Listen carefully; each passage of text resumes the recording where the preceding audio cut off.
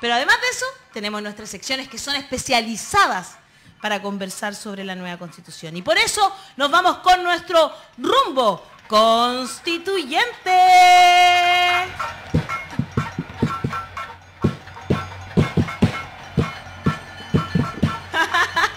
Tengo ahí. Tan, tan, tan, tan, tan. ¿Con quién estamos hoy día? Los voy a presentar de inmediato. Voy a partir por Constanza Schoenhout, ex convencional, ex compañerita de Daniel Stingo. ¿Cómo estás, Connie? Hola, Ale, bien, ¿y tú? Muy bien. Muchas gracias por estar hoy día en la mañana aquí con nosotros. También está Felipe Fontesilla, director ejecutivo de Rumbo Colectivo. Hola, Felipe, ¿cómo estáis?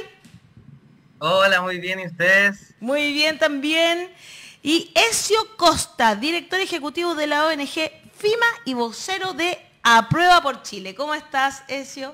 Bienvenido. Hola, buen día. Eh, saludos a todos y a todas. Gracias por invitarme. Muchas gracias. Y justamente eh, tenemos, hemos tenido un bloque en el que hemos hablado mucho sobre las mentiras, desarmándolas, digamos, eh, porque ayer encontramos que están nos mandaron fotos de nuestra comunidad eh, con una guía práctica, pero esta vez de, según ellos, mentiras de la nueva constitución, que nosotros estábamos aquí también haciendo lo nuestro y desmintiendo. Más bien, mentiras sobre la nueva constitución.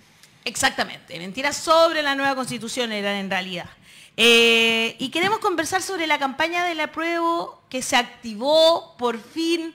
Vimos el fin de semana imágenes hermosas con las que nos queremos quedar en el corazón, por cierto, de multitudinarios encuentros, ¿verdad? Especialmente em, lo que pasó en Maipú con el apruebazo, ¿verdad? Y que este fin de semana podría repetirse. Eh, voy a partir por preguntar eh, cómo, cómo, parte esta campaña. Parto contigo, Ezio, que estás en Aprueba por Chile, y preguntarte cuáles son las bases de la campaña y ¿qué es lo que van a destacar del texto constitucional?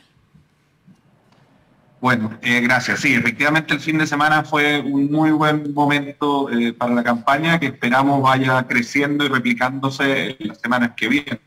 Eh, es una campaña que nace de las organizaciones sociales que estamos agrupadas en Aprueba por Chile y que desde allí convocamos o fuimos a conversar con los partidos de la Prodignidad y el socialismo democrático para eh, unirnos y hacer una sola campaña transversal que permitiera llevarle eh, a la ciudadanía las buenas noticias respecto de la nueva constitución.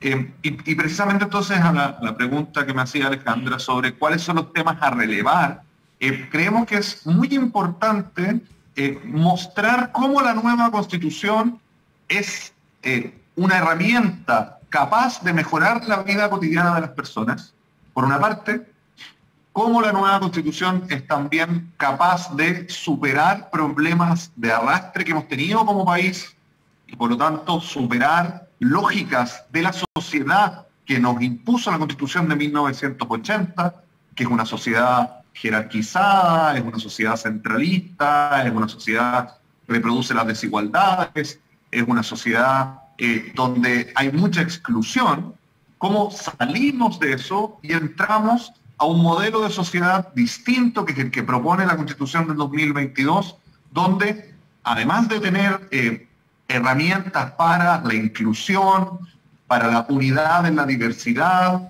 además de tener herramientas que superan la desigualdad y que dificultan los abusos, también tenemos herramientas para hacerle frente a los desafíos del mañana herramientas como toda la parte ecológica de la Constitución, que es una, una, gran noticia para Chile, para el mundo, una estructura jurídica que le hace frente a la crisis climática y ecológica, normas como las que se refieren a la ciencia y a la tecnología, normas como las que se refieren a la paridad, son todos eh, normas que le hacen frente a, a los nuevos desafíos de la sociedad. Entonces, un eje muy importante de nuestra campaña es mostrar cómo ganamos todos y todas, cómo gana Chile con una nueva Salir un poco, eh, y ahí eh, precisamente ustedes estaban hablando de eso antes y por eso eh, lo digo, ¿no? Salir un poco de solo tener que defendernos de las falsedades y la violencia con la cual se ataca la nueva constitución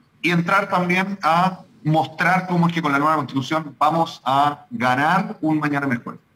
Estoy súper de acuerdo en ese aspecto, digamos, en que no solo nos podemos quedar ahí, por eso tenemos secciones como esta, eh, para seguir conversando sobre el contenido de la nueva constitución.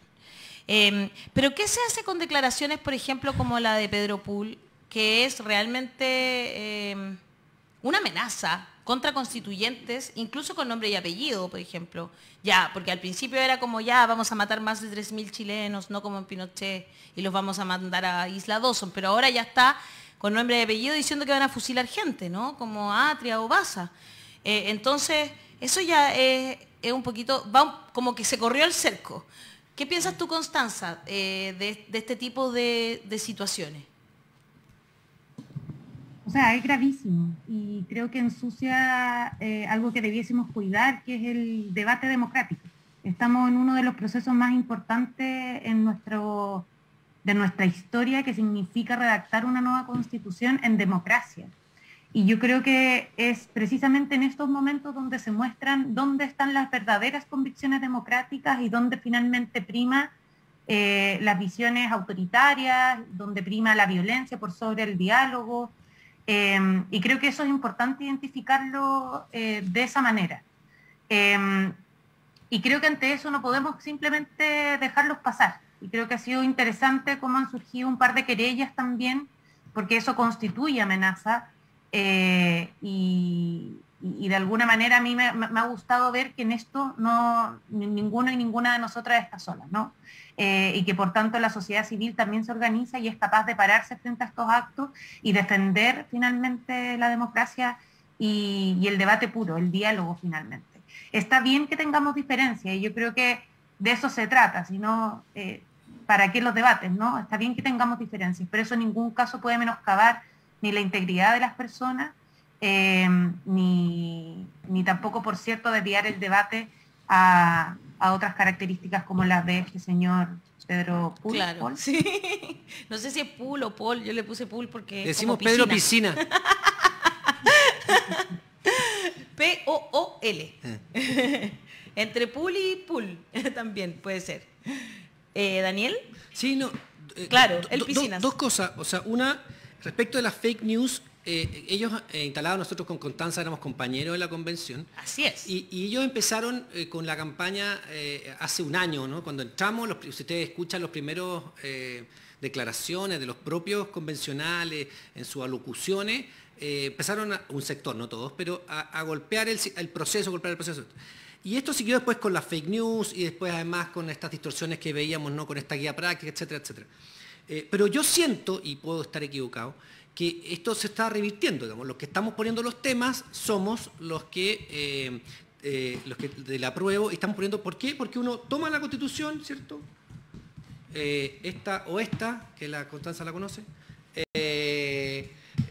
y, empezamos a leer nomás, pues. es cosa de leer, es cosa de lo que va diciendo.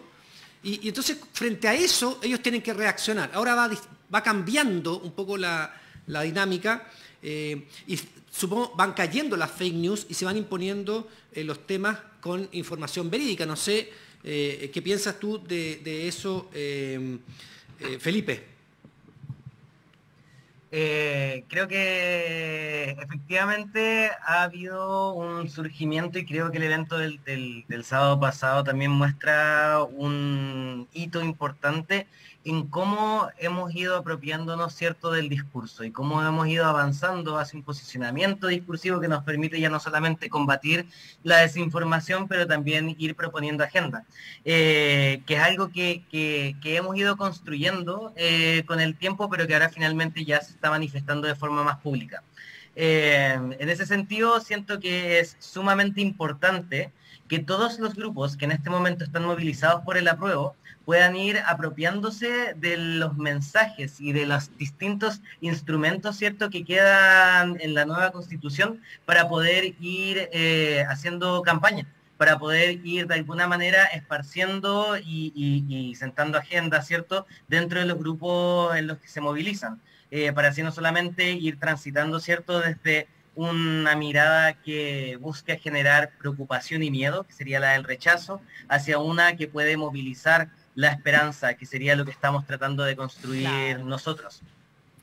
Claro, y estoy súper de acuerdo con eso, eh, en el sentido de que hay, que hay que mostrar como el otro ánimo. eh, y eso nos pasó el fin de semana, entre la carta de la señora Bachelet y, la, y, lo, y lo que pasó en Maipú, quedamos... Genial lo de Maipú. po, o sea. Sí, no, lo de Maipú Es que el hermoso. distrito 8, pues sí, dejémonos de cosas. Ay, ya, tú a ver, le gusta su, le gusta su distrito, ¿ah? Está orgulloso de haber sido ahí eh, elegido. ¿De qué forma pueden participar las personas en la campaña de Aprueba por Chile? ¿Se puede, por ejemplo, yo soy un ciudadano común, interesada en que se conozcan los contenidos de la nueva constitución? ¿Se puede hacer eso?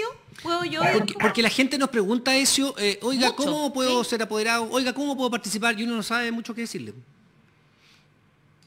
Eh, sí, se puede, eh, no solo se puede, sino que es diría yo. Eh, más allá de que exista un comando, eh, la campaña por aprobar una nueva constitución, igual como ha sido todo el proceso de tener una nueva constitución, es una campaña descentralizada, es una campaña distribuida entre todas las personas que creemos que con esta nueva constitución podemos tener un mejor Chile. Eh, y por lo tanto, hay muchos comandos autoconvocados de ciudadanos, de ciudadanas, de gente que está en las calles o en distintos espacios trabajando por el apruebo. Y eso no solo bienvenido, sino que, eh, por favor, háganlo. O sea, si usted cree que el apruebo tiene que ganar, no solamente vaya a votar por el apruebo, sino que convenza a las personas que tiene cerca, pegue una ficha en su casa, eh, una, una, una calcomanía, se dice calcomanía, un autoadhesivo, eh, ahí se me cayó el parece, pero no importa. Eh, una, algunas manifestaciones a favor del apruebo es súper importante eh, mostrar esto, ¿no? Eh, mostrar que este es un esfuerzo que hemos venido construyendo los ciudadanos y las ciudadanas, que esta es una constitución que le da más poder a la gente. Esto, esto es muy poco probable, ¿no? No es algo que encontremos en muchas constituciones en el mundo. Esta es una constitución que rompe de alguna manera las lógicas de eh, Estado-mercado y, y pone mucho poder en la ciudadanía, en las personas, en la gente. Eso, con cuestiones como, no sé, la, la iniciativa popular de ley, por ejemplo, que podamos presentar una ley, eso es muy importante. Vuelvo a la pregunta. Si usted quiere participar en las actividades de- centrales, digamos, que están organizadas por el comando, puede inscribirse en apruebaporchile.cl. Hay un, hay un eh, espacio ahí para inscribirse como voluntario, como voluntaria. Eh, y, y- y de ahí se le va a conectar con el comando de eh, su comuna, de su región. De todas maneras, eh, puede también hacerlo directamente, si conoce a las personas del comando, conectarse con ellas. Y además hay kits, esto debería tener una palabra en castellano, hay kits o sets para- Una caja de herramientas. Claro. La caja de herramientas. Eso, la caja de herramientas. Cajas de herramientas, eh, cosas para imprimir en la casa, para eh, hacer uno mismo, ¿no? Eh, cartelitos de la prueba, chapitas, afiches, etcétera. Porque esta es una campaña que se ha venido construyendo con el esfuerzo colectivo de las personas. Como saben, no hay mucho financiamiento, sino que es más bien esfuerzo y voluntades. Y, y es bueno que sea así. A mí por lo menos quizás esto es porque soy de una organización, pero me gusta que sea así. Sí. Así que vamos con todo y todo. Sí, todo. Comparto, es como romántico. Oye. Yo cuando salía ahí con, mi- con mis cartelitos y mis flyers, iba a hacer campaña, como que me sentía como y con la familia, los perros, y, y íbamos ahí como que me sentía como, como no sé, era una cosa como, e- es, bonito igual, sentir que no es solo plata, Bueno, que claro. conversar con la gente, que también eso tiene muchísima más llegada. Creo, al menos yo todavía tengo esa, esa visión un poco, que a lo mejor es media naif, pero todavía creo en eso. Hassan. Oye, Ahora. Felipe quería decir Felipe algo. quería decir algo. Sí, pero por favor, me gustaría agregar algo muy cortito a lo que estaba diciendo Decio, porque eh, una de las cosas que nosotros nos hemos encontrado en las calles, en los territorios, conversando con juntas de vecinos, conversando con distintas organizaciones también, es que hay un poco de susto aún a salir a las calles a, a hacer el- la pega de divulgación, ¿cierto? Como al, al- al puerta a puerta o incluso a traer la conversación de la nueva constitución a la mesa familiar. Eh, y eso eh, tal vez responde a que todavía hay eh, gente que no ha tenido o acceso al texto o que no ha encontrado las plataformas para educarse sobre el proceso constituyente y la nueva constitución. Y ahí yo quiero decir que hay muchos recursos en este momento que tanto la campaña Prueba por Chile como las distintas organizaciones que la conforman están poniendo a disposición para que la gente pueda informarse de manera efectiva y eficiente sobre qué es lo que dice la nueva constitución para no seguir esparciendo desinformación. Y ahí me gustaría invitar eh, a la gente a revisar www.aconstituir.cl, que es la plataforma de rumbo colectivo donde hemos estado eh, lanzando módulos de formación, de autoformación, ¿cierto?, sobre el proceso constituyente y el contenido de la nueva constitución. Eh, y además estamos armando una red de divulgadores, ahí junto a los equipos de, de Aprueba por Chile también, Em, para poder asegurarnos de que todas las personas que quieran poner esta conversación en la mesa de sus casas, que quieran salir a las calles, que quieran ir a las plazas, que quieran juntarse, ¿cierto?, con eh, sus cursos universitarios, con sus cursos en el colegio, eh, con eh, sus organizaciones deportivas, ponte tú, tengan todas las herramientas necesarias para poder hablar de este tema con que se sientan empoderados, ¿cierto?, para poder hablar sobre la nueva constitución. Eh, también hay esta plataforma Contexto, tenemos que hablar de Chile, han puesto un montón de herramientas a disposición de la ciudadanía para poder eh, llevar a cabo estas conversaciones y que todos nos sintamos empoderados de poder eh, ir a nuestras comunidades y hablar sobre la nueva constitución sin miedo a esparcir noticias falsas o desinformación. Ahí está Adonis Quesada, que no sabía dónde ir en Quilicura, ya sabe entonces que puede meterse por no lo dijimos pasar, luego... www.apruebaporchile.cl, www.aconstituir.cl. Eh, dos lugares donde la gente dice, ¿cómo me instruyo? ¿Cómo participo? Ahí tienen dos. Ahí tienen dos. Hassan. Yo estoy súper de acuerdo con ah, el sentimiento que se está expresando en este panel, creo que eso lo, dijo primero, que hay que empezar a hablar de las cosas positivas de la nueva constitución. ¿no? no podemos estar constantemente en la defensiva, que hay cosas bonitas, muy bonitas en realidad, de un proyecto país a largo plazo que podría transformar y podría mejorar la calidad de vida de los ciudadanos y ciudadanas. Entonces, tomando eso en cuenta, que estoy súper de acuerdo, al mismo tiempo hay que defenderse de las mentiras, de, eh, de las noticias falsas, de, de, los ataques directos, de una oposición de rechazo muy deshonesta. Pero la idea es que uno tiene que hacer las dos cosas al mismo tiempo, ¿no? Esto es caminar y masticar chicle. Y una de, una de las formas de poder hacer estas dos cosas al mismo tiempo es ser un poco uh, más eh, dirigido en el análisis acerca de cuáles son las cosas específicas que van a cambiar primero. Porque esto es un proyecto país que va a demorar décadas en completamente implementarse.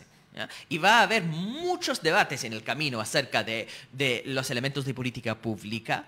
Entonces, de cierta forma, ir describiendo una larga lista de transformaciones sin poner una prioridad da este problema de decir la constitución va a hacer todo en vez de explicar que es un camino y eso permite la derecha decir entonces la constitución va a permitir aborto hasta los nueve meses o va a permitir uh, robar las casas porque hay una confusión entre lo que sí puede hacer una constitución que es abrir un camino y lo que hace la ley ordinaria que es poner el detalle. Entonces lo que quería preguntar a Constanza es según tu interpretación, ¿cuáles serían los cambios uh, más próximos? porque va a haber un cronograma y de hecho las disposiciones transitorias establecen cierta, ciertos años uh, dentro de los cuales el presidente tendrá que tirar ciertos proyectos de ley. Entonces, el 4 de septiembre gana de prueba. El 5 de septiembre, ¿qué cambia o qué va a empezar a cambiar? Ah, yo creo que el corazón de la nueva constitución tiene que ver con el cambio de paradigma respecto al rol del Estado. Eh, pasar de un Estado subsidiario, donde el Estado tiene un rol secundario, marginal y que permite la privatización en general de todos los ámbitos de la vida, pero en particular de lo relativo a derechos sociales, eh, para pasar a un Estado social, donde el Estado tiene un rol fundamental en la prestación de estos derechos, pero en la creación también de condiciones para el ejercicio de estos derechos, es un cambio sustantivo que nos abre un camino que hasta ahora teníamos cerrados con un muro. Em, y eso se, se refuerza con la regulación específica de los derechos sociales que han sido, digamos, el motor de este proceso constituyente, en materia de educación, en materia de vivienda, de salud, de seguridad social, donde no solo se garantizan en abstracto, sino que se establecen principios y marcos claros para su desarrollo. Y yo creo que, si bien, claro, no es al día siguiente donde vamos a tener el derecho a la educación pública gratuita de calidad, sí se empieza a trazar un camino en esa dirección. Y lo que nos demoramos 10 años en el movimiento estudiantil en lograr un 60% de gratuidad en el sistema, lo vamos a poder avanzar de manera mucho más rápida. No vamos a tener que esperar nuevamente eh, movilizaciones sociales, digamos, de, larga data para que al final, en última instancia, sean otros los que pongan las reglas del juego. Acá se expresa la voluntad social eh, mayoritaria y, como decía Hassan, abre la puerta, abre la democracia para que sea la ciudadanía, sean los, espacios de representación popular los que terminen de hacerlo cuajar. Pero ya no, digamos, con la puerta abierta al mercado, sino con un claro avance en materia de derechos y de seguridad social para las personas. Y yo creo que ahí está, por un lado, lo que, eh, lo que en concreto esta constitución le puede cambiar la vida a las personas. Eh, y como decía Ezio anteriormente, es una constitución que distribuye poder, que en la medida en que acerca las decisiones a las comunas, a las regiones a través de la descentralización, que en la medida en que contempla iniciativa popular de ley, iniciativa de derogación de ley, que en la medida en que eh, democratiza los debates y los quórum en los espacios de decisión, de, decisión política, es una constitución que profundiza la democracia. Y yo creo que profundizar la democracia no es un abstracto, sino que significa tener mejores condiciones para resolver los problemas de la gente. Eh, por lo tanto, yo creo que eso es lo que cambia el 5 de septiembre. ¿Qué ¿Qué va a pasar si es que llegara a ganar el rechazo? ¿Cuál es nuestro 5 de septiembre? Es todo lo que ya conocemos y venimos viviendo hace 30, 35 años. Eso es. Versus la posibilidad. De abrirnos un camino con estas condiciones claras en materia de derechos sociales. Y a eso agregar, perdona, que estamos todas, todos y todos representados. Nosotros elegimos a los 155 democráticamente y por otro lado también pudimos presentar iniciativas populares de norma, pudimos hacer cabildos que son oficiales y que también de cierta manera estuvieron, organizaciones sociales pudieron ir a conversar con esos 154 que finalmente trabajaron. O sea, de verdad es una constitución que nos representa a todas, todos y todes. Tuvimos la posibilidad de estar ahí. Sí. No es verdad que hay grupos que están excluidos. No, jamás. oye, eh, eh, de partida decirle a la CONI que si el 5 de septiembre gana el rechazo no me voy a levantar. Eh, y segundo, Oye, a ver, ¿qué opináis, Connie, cortito, del dictamen de la Contraloría, Constanza? Porque a, mí me, dejó bien mal. ¿El dictamen de la, de, la Contraloría? Sí, de los municipios, porque en el fondo eh, los cuatro municipios estos iban a contestar, iban a replicar. Eh, diciéndole eh, un recurso de reposición. No lo ha contestado, parece, la Contralor respecto de que se pueda informar, de hecho, uno de uno de los hechos más importantes en la historia de Chile, y además los municipios hicieron, acuérdense que fueron los primeros que tuvieron iniciativa para este cambio, etcétera. Eh, ¿qué, opináis de eso tú, Connie? Yo encuentro que es un despropósito, es salirse, es ir más allá de, la, de la... Es cortar los brazos de las municipalidades que, tienen que estar cercanos a los municipios. Hemos hablado con hartos alcaldes que nos dicen, ¿y ahora qué le digo a los vecinos? No, y además la ley orgánica constitucional no dice eso. A mí eso es lo que más me llama la atención, la verdad. Yo, o sea, creo que en momentos de esta aquí es donde uno realmente no termina de entender eh, cómo vivimos una democracia donde los espacios del Estado no pueden contribuir a un voto informado. Eso es. Es una cuestión tan importante como mm. definir cuál va a ser nuestro próximo, nuestra próxima carta fundamental. Em, y yo encuentro que hoy día todas las instituciones debiesen tener en la entrada un turno de constituciones, eh, de manera de que la ciudadanía pueda acceder. La cantidad de gente que nos escribe diciendo dónde puedo llegar a la nueva constitución, dónde puedo leerla, dónde puedo comprarla, eh, dónde, dónde, la están dando, eh, es mucha. Y todo este tiempo en el cual no, no las instituciones no logran comprometerse, no pueden comprometerse con la información, es tiempo donde la ciudadanía se digamos, absorbe fake news y no tiene la, posibilidad, digamos, de contrastarlo con información veraz. Y yo creo que eso, por cierto, es un despropósito para la democracia en general, para este proceso en particular. Y respecto a eso, a propósito de esta conversación en uno de los cabildos que estuve el fin de semana, eh, conversamos y nos preguntaban sobre la educación cívica, si es que la Constitución considera algo respecto a la educación cívica. Eh, y lo encontramos. Y de hecho dice en el artículo 216 que las municipalidades tienen el deber de promover y garantizar la participación ciudadana de la comunidad local en la gestión y construcción de políticas públicas y que deberán proveer los mecanismos, espacios, recursos, alfabetización digital, formación y educación cívica necesaria para que sea, para que esta participación se pueda concretar de manera efectiva.